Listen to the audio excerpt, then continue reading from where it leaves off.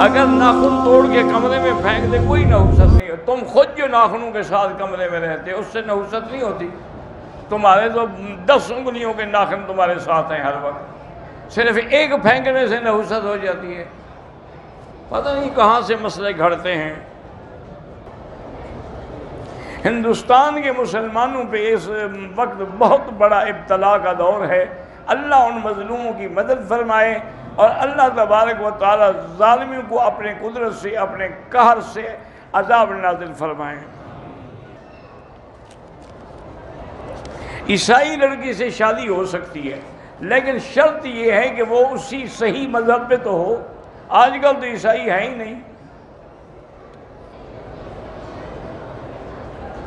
ایک عورت نے بچی کا رشتہ دیا، پھر اس نے کچھ دیر کے بعد رشتہ کسی اور کو دے دیا۔ لیکن اس کی بچی کی ماں کو اس نے جس کو رشتہ نہیں دیا، اس نے گولی مار دی، تو وہ قتل کا مجرم ہے اور قتل کی سزا دائمی جہنم ہے۔